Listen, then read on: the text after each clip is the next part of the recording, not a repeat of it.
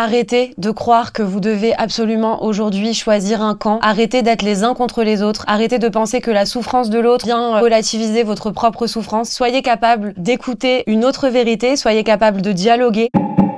On était un, un, groupe de femmes musulmanes et juives à nous sentir euh, orphelines d'une voix qui nous représentait, à refuser de se retrouver euh, dans des camps les unes contre les autres, à devoir euh, nous opposer, opposer nos souffrances, opposer nos chagrins et à se dire qu'il fallait qu'on soit capable de se rassembler autour d'une parole collective et autour de, de nos engagements de femmes. Les guerrières de la paix, c'est le titre d'un documentaire que j'ai réalisé sur des femmes palestiniennes et israéliennes des mouvements Women Wage Peace et Women of the Sun. On a voulu rendre hommage à l'engagement de ces femmes en partant de cette idée que si des femmes au cœur d'un conflit, euh, en vivant les conséquences de ce conflit dans leur chair, en ayant parfois perdu des proches, vécu des deuils, réussissaient à se rassembler et à porter cette voix, on devrait pouvoir au moins en faire autant euh, dans notre pays. Ce qui nous rassemble avec les guerrières de la paix et ce qu'on a vu aussi euh, de ces militantes palestiniennes et israéliennes, c'est que les femmes ont un rapport à l'engagement euh, plus pragmatique. Elles sont ancrées dans la vie, dans le réel, dans le quotidien.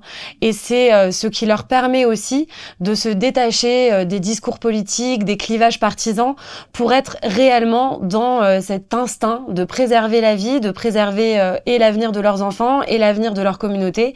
Et en ça, les femmes sont des piliers. Et c'est la grande leçon que nous ont donné ces militantes palestiniennes et israéliennes. Et c'est à partir de ce dénominateur commun, de notre engagement de femmes, qu'on a bâti ce mouvement des guerrières de la paix. Qu'on sorte de cette grille de lecture qui consiste à nous assigner chacun dans des camps. Aujourd'hui, s'il existe deux camps, c'est bien celui de celles et ceux qui luttent pour la paix et pour la justice pour tous.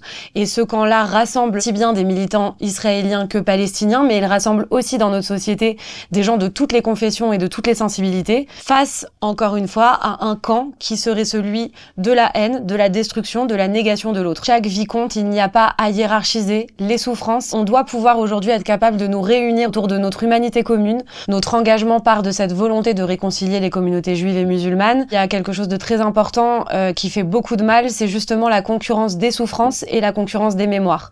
On a le sentiment que euh, euh, si on parle de la souffrance des uns, on occulte la souffrance des autres, que si on honore la mémoire des uns, on oublie celle des autres. Or, nous, justement, notre combat, il est d'expliquer qu'il ne faut absolument pas hiérarchiser toutes ces souffrances et toutes ces mémoires, qu'elles sont les nôtres, qu'elles sont collectives, que c'est pas d'un côté la communauté juive qui doit pleurer ses morts ou de l'autre la communauté musulmane qui doit pleurer les siens. On est ensemble face à ça dans un dans une vraie démarche de de dignité collective. Le message que nous ont euh, que nous ont transmis les militants euh, palestiniens et israéliens qui luttent aujourd'hui pour la paix et la justice, c'est la reconnaissance de la légitimité de l'autre. Il faut que les uns et les autres reconnaissent leur légitimité, reconnaissent leur narratif, qu'ils soient capables aussi euh, d'accueillir une vérité qui n'est pas la leur, de remettre en question leur propre certitude, de se mettre à la place de l'autre.